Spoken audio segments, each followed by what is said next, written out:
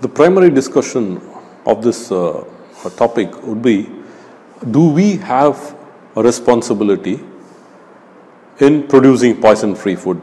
Means, uh, does a common man, you and me, can we do something to bring poison free food to our tables? It's very easy to blame a farmer.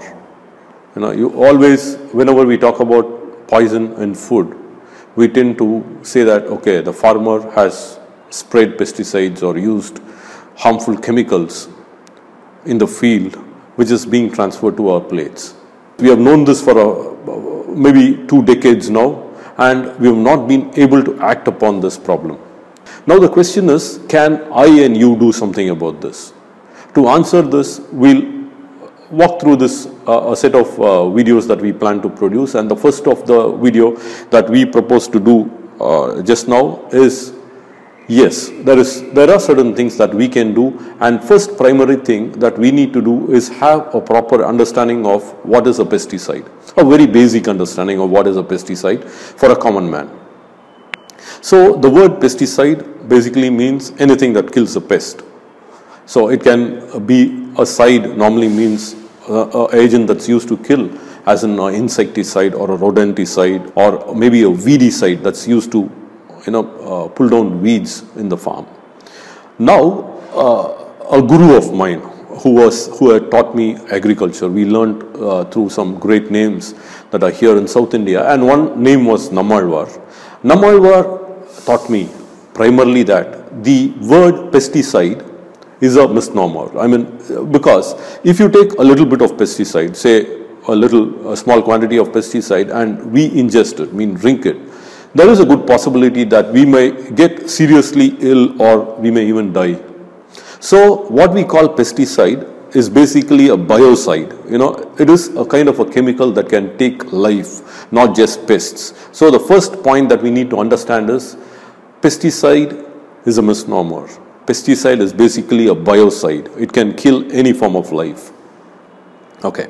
Now, the next point that we need to realize here is that there is a question that normally people ask is that can we not wash off pesticides? It's definitely not possible to wash off all pesticides because pesticides as far as the classification goes is broadly classified into two varieties, two forms. So one is called a contact pesticide and the other is called a systemic pesticide. A contact pesticide, as the name signifies, kills anything, any insect that it comes in contact with. So, an insect is there on your uh, farm, though there are different varieties of chemicals that act in different ways on different plants.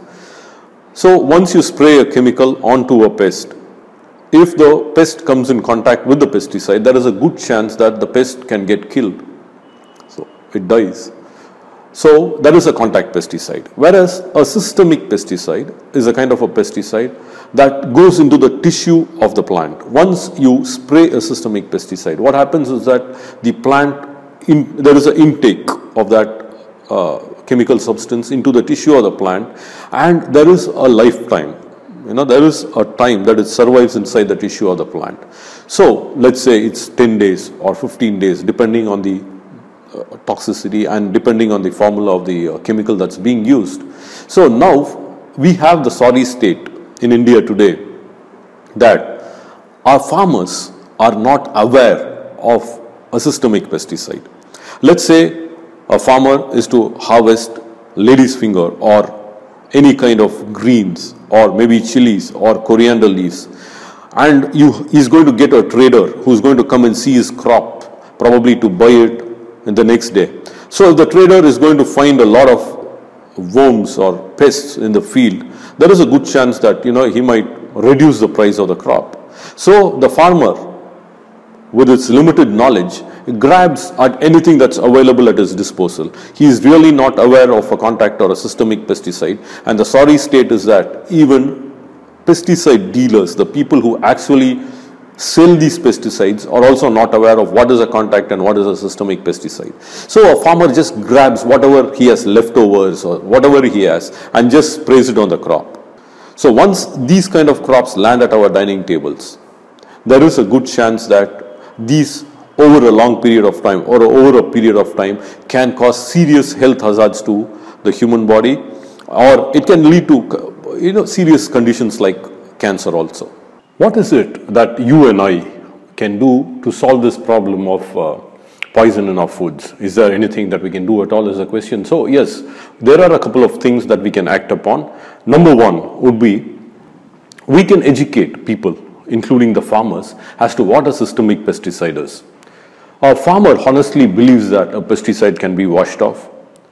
So this message, if that we speak about today, if it can reach the farmer saying that a systemic pesticide has something called a toxicity period.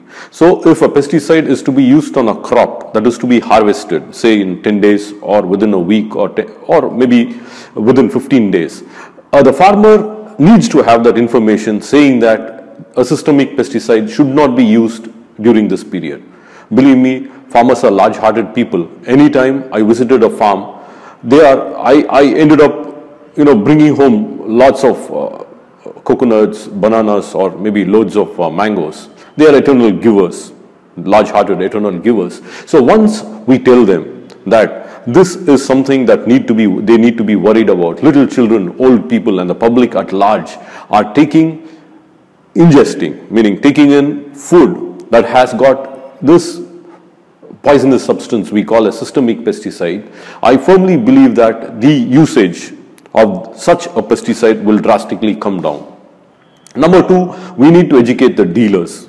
A lot of dealers are not aware of a systemic pesticide. If this dealer and the government machinery, the officers that are in charge of these uh, you know, of taking, keeping control of these pesticide shops. If these people can educate the dealers and the dealers in turn can give in a word saying that this is what you're taking. If a farmer is taking a systemic pesticide, he needs to be aware that this systemic pesticide can stay in the system of a plant for so many days. So if he, if he is going, if there is a need for such a pesticide to be used during the harvest time, he has to make that decision wisely.